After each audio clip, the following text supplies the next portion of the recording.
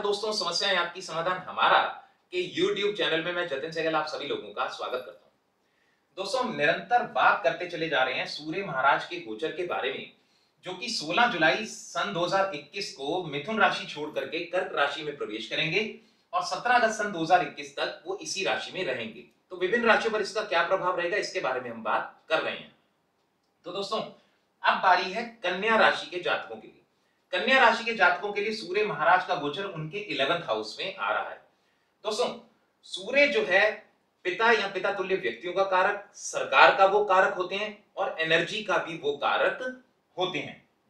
तो दोस्तों eleventh house जो है हमारी जन्म कुंडली के अंदर हमारे बड़े भाई बहनों का, हमारे स्वयं कमाए हुए धन का, हमारी इच्छाओं का भी होता है। दोस्तों, पौराणिक ज्योतिष में ऐसा बोला गया है कि सूर्य महाराज जहाँ पर बैठते हैं, उस घर के फलों में कुछ कमी लाते हैं। जबकि मेरा ऐसा मानना है कि पूरी तरह नहीं जलाते हाँ थोड़ा बहुत कमी तो ज़रूर ला सकते हैं, क्योंकि वो जो है एक गर्म प्लेनेट भी है, पर एनर्जी भी है।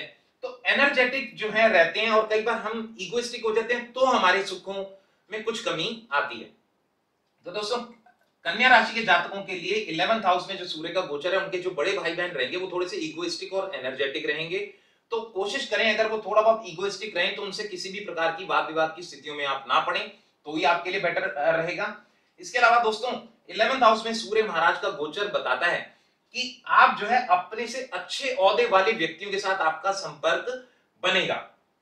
यानी ओवरऑल में क्या होगा कि बहुत बड़े बड़े लेवल के लोगों से आपकी कुछ जान पहचान या दोस्ती होने की संभावनाएँ बढ़ जाएगी। इसके अलावा दोस्तों, क्योंकि ये हमारे डिजायर्स का भी होता है तो आपके डिजायर्स भी पूरे होने की संभावना है। जैसे मान लो आपकी डिज़ायर गवर्नमेंट से रिलेटेड है, क्योंकि सूर्य गवर्नमेंट का भी प्रतीक होता है। मान लो आप किसी गवर्नमेंट जॉब को चाहते हो तो गवर्नमेंट जॉब लगने की भी काफ़ी आपकी संभावनाएँ बढ़ जाएँगी। इसके अलावा दोस्तों, यदि कोई सरकार से रिलेटेड आपका पहले से कोई काम अटका हुआ था तो वो भी पूरा हो जाएगा, क्योंकि ये हमारे स्वयं कमाए हुए धन का होता है तो ऐसा भी हो सकता है कोई गवर्नमेंट कॉन्ट्रैक्ट मिल जाए और गवर्नमेंट की तरफ़ से आपको लाभ प्राप्त हो तो ये भी ओवरऑल में आपको काफ़ी हद तक हेल्प कर सकता है। इसके अलावा दोस्तों, क्योंकि सिंह राशि जिसके मालिक सूर्य होते हैं, वो आपके ट्वेल्थ हाउस में आता है तो वो अपने से ट्वेल्थ आ गए। तो ऐसे में, ऐसे व्यक्तियों के लिए बहुत फ़ायदा ये होता है कि कई बार विदेशों से भी कुछ खुशखबरी उनको मिलती है, या विदेशों से भी कुछ लाभ की संभावनाएँ उनके लिए बन जाती हैं। इसके अलावा दोस्तों, सूर्य महाराज की एक ही दृष्टि होती है सेवंथ तो सेवंथ दृष्टि उनके फिफ्थ हाउस पे आएगी। तो फिफ्थ हाउस आपकी बुद्धि विद्या का है। तो ऐसे में क्या हो सकता है कि आप कुछ ऐसी पढ़ाई करें जिससे आप गवर्नमेंट जॉब को अचीव कर पाए, जैसे आईएएस आईपीएस से रिलेटेड यूपीएससी या कुछ ऐसी कोई बैंकिंग एग्ज़ाम्स वगैरह को भी आप अचीव करने की कोशिश करेंगे क्रैक करने की कोशिश करेंगे तो उस प्रकार के लिए भी आप काफ़ी एनर्जेटिक रहेंगे और क्योंकि हमारी बुद्धि विद्या संतान का ये कॉलम होता है फिफ्थ हाउस तो आपकी संतान भी काफ़ी हद तक एनर्जेटिक रहेगी प्लस उनके अंदर भी कुछ गुस्से की प्रवृत्तियाँ आ सकती हैं। तो कोशिश करें कि किसी भी प्रकार के वाद विवाद की स्थितियों में ना रहें, बल्कि अपनी एनर्जी को या आपकी संतान भी अपनी एनर्जी को किसी गवर्नमेंट एग्ज़ाम को क्रैक करने की कोशिश करेंगे तो वो इनके लिए बहुत ओवरऑल अच्छा रहेगा। इसके अलावा क्योंकि फिफ्थ हाउस हमारे लव अफेयर्स का भी होता है तो उसमें भी जो है कहीं ना कहीं आपके झगड़े होने की संभावनाएँ बनेगी। तो उसका सबसे बढ़िया तरीका है, केवल अपने गुस्से को यदि आप काबू रखेंगे तो आप काफ़ी हद तक अच्छी चीज़ों को आप अचीव कर पाएँगे।